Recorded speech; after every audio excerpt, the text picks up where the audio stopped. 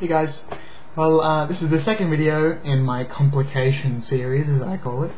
Um, if you haven't seen the first video you should go and see it because this video isn't going to make any sense really um, if you haven't seen the first one. We're basically up to step 11. I left it off with um, the surgeon having an endoscope and nothing came up. So um, the endoscopy reports nothing. The surgeon schedules a laparoscopy, which is basically like the operation I had, except they go in all the same way, but they're just looking around. Um, and um, I was under the influence that they were just looking, but as it turns out, that during the surgery, they found something. They found an abscess on my stomach, which I had no idea what the hell it was, and it turns out um, it's bad. I still don't really know what it is. It's sort of like an ulcer on the stomach, and uh, it had punctured through my stomach, which was all I needed to know. So um, I wake up in severe pain on my side. I'm, I'm on my side, and um, it hurts to breathe, and I scream for nurse's health, nurse's health, for nurse's help, and um, they hook up medicine to a remote. Now I'm not normally like that, so that sort of, you know, I'm normally a very calm and sometimes quiet person. So for for me to you know distract a nurse from what she's doing to come over to me is should you know should tell people that I was in a lot of pain. It was very painful, and I didn't have the the little button thing. If you've been to surgery, you know they hook up a button and it injects a, a very nice chemical that takes away the pain. Um, but they didn't have that hooked up until I requested it when I was in a lot of pain. Um, and, but the medicine did not help in the absolute slightest. It was like injecting water. And I was, you know, I was in a lot of pain, it hurt to breathe, and I'm pressing the button and it's beeping, but nothing's happening. And then I can't press it for another five minutes. It had a five minute timer. So, um, I finally, after a while, I settle down and they take me back to the ward. Um, the rest of the day is pretty much a blur. I mean, um, I think the the surgery was in the afternoon, so there wasn't really much uh, left of the day. The nurses insist that I use the medicine. I stopped using it altogether because, um, you know, just pressing, you know, injecting myself with nothing. I didn't really see it as a good thing. But they say um, if I kept pressing it, uh, eventually it would start to work. You know, I've got to keep pressing it.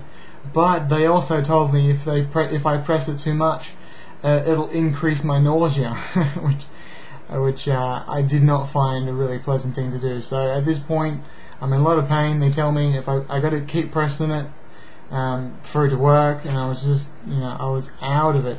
So I start pressing it, and I think it was more of a mental thing than an actual physical thing. Um, you know, I kept pressing it, and then it would beep, and then I would just hope that this one would be the one that took away the pain. Um, it still hurts to breathe the, the, the next day. Um, but the night before, uh, it consists of short breaths to stop the stomach from hurting. So um, I was I was literally I was literally breathing. Uh, I was like that, just because taking a big breath or taking even a medium or small to medium breath just hurt, and I had no idea why because I was completely out of it because of the pain, and um, the, a pump is hanging from my right side. All I know is that this tube is coming out and it runs to this little plastic um, container um, that was red.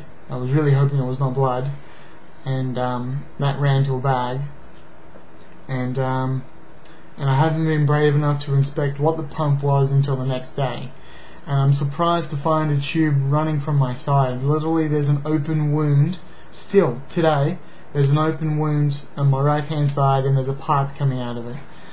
Um, the surgeon tells me that there's an abscess has formed on my stomach um, punctured the stomach and a stent has been put into place to prevent leakage and the pump is taking well it's taking pus away from the abscess so a stent um, to my knowledge is basically this tube that they put down my throat by endoscopy, and um, they then expanded it, and that's that stopped um, anything that I swallow to come out of the of the hole. So um, the pump is eventually replaced. Well, the the the tube led to the pump, and what they did was they cut the pipe, um, and then they put a bag over the pipe, which um, stuck to my stomach. Uh, I'll actually show you guys. If you squeamish, look away now because it's really rather, it's not very nice. But I'll show you what it looks like. Let me shrink this so I can see what I'm doing. So um, this is my stomach. You can see um, my scars here, here, and here. They're the laparoscopic scars, and they went in through the, the same scars when they did the the laparoscopy. And this is the bag here. Now it's the bag, and as you can see, this thing here coiling around is the tube coming out of the open wound, and that is um, that's a safety pin to make sure the pin that to make sure the tube doesn't go inside the wound, and it runs down into the bag here, and that's pus from the abscess, and that's um, a tube where it can be emptied. So um, that's what I've had for a long time now. It's supposed to come out today, actually, but the nurses didn't come, so they're coming tomorrow, hopefully, um, to remove the tube altogether, which is sort of weird. Um, I've had the I've had several different bags. You know, they got to keep replacing them, and it's it's like putting sticky tape on on your hairy arm and then ripping it off each time they take off the bag. That's really painful. So um, I've reached my time limit, so I'm to have to stop it there. That's the end of video 2. If you haven't seen video 1, I really need a lot of people to subscribe so my videos can be shown when people search. I think that's the reason why they're not coming up when people search. So um, tell all your friends about my video channel, and um, I hope you tune in for video 3.